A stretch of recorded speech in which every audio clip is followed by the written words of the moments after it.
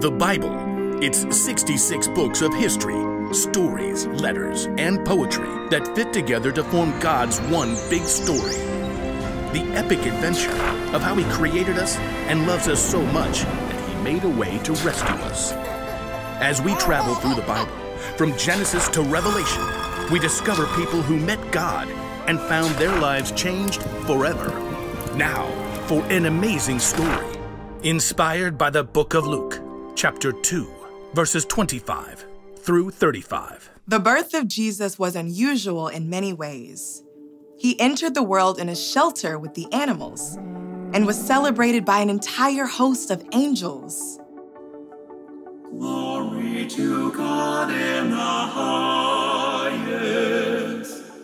But Mary and Joseph cared for Jesus as with any child. When he was about six weeks old, they prepared to present him to the Lord at the temple. The law says we must offer a sacrifice of two pigeons. Or doves. How is he six weeks old already? But as Mary and Joseph set out for Jerusalem with their firstborn son, someone was already waiting for them a man named Simeon, and their stories were about to collide. Simeon had grown up in Jerusalem, faithfully worshiping God. He prayed daily. Lord, help me understand your law. Help me serve you with my whole life. Simeon would have studied the scriptures, words from the prophets from hundreds of years before. The people who are now living in darkness will see a great light. They are now living in a very dark land, but a light will shine on them. What light, Lord? Over the years, Simeon continued to pray, to worship, and to seek God in the temple. God's Holy Spirit was with him. And one day, the Spirit made Simeon a promise. You will not die before you see the Lord's Messiah. Me? With my own eyes?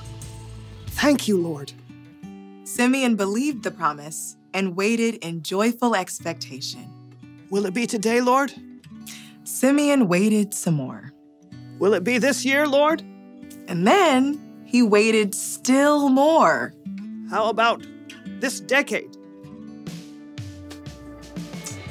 We aren't quite sure how long Simeon had to wait, but when his hair turned snow white, he was still waiting.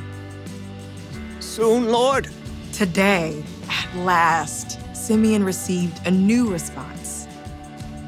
The temple courtyard? I- am on my way. Uh, where's my cloak? My walking stick? God's Spirit led Simeon straight up to the Temple Mount and into the courtyard. Simeon stood in the center of the courtyard, allowing the voices to wash around him. He wasn't quite sure what he was looking for, but he knew God would reveal it to him. A baby? Simeon turned quickly to see a young couple nearby. The man carried a pair of doves in a small cage, the usual sacrifice after a child was born. The woman cradled a tiny baby in her arms. Joseph, where do we go? Excuse me. Both the man and the woman looked up quickly. May I hold the child? well, all right. Yes. Simeon took the child gently into his arms. In the eyes of this infant, he saw the face of God, the rescuer, God's promised Messiah. His name is Jesus. Overwhelmed, Simeon turned his gaze toward heaven. Lord, you are the king over all. Now let me, your servant, go in peace. That is what you promised. My eyes have seen your salvation. You have prepared it in the sight of all nations. It is a light to be given to the Gentiles. It will be the glory of your people, Israel. Mary and Joseph stared in amazement. We knew he was special. This. Simeon looked down at the child, then glanced up at Mary and Joseph again. May the Lord bless you both. Gently, Simeon returned Jesus to his mother's arms. After a lifetime of waiting, Simeon was overjoyed to see the fulfillment of the promise God had given him so long ago.